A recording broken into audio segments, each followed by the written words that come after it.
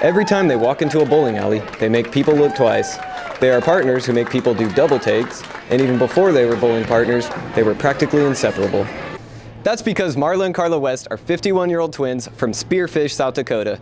And if you ask people who know them, not only are they good bowlers, but they perhaps have more fun than just about anybody else. They're fun.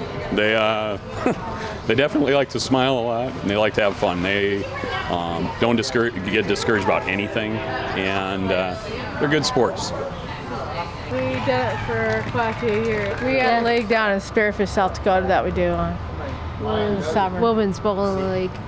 She's a better bowler than I am.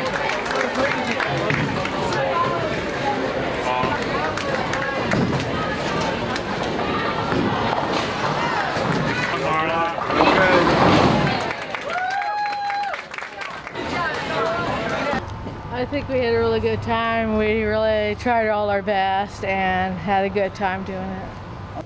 Reporting from Sun Valley Lanes with Jordan Moreau, I'm Johnnie Adcox. Go South Dakota!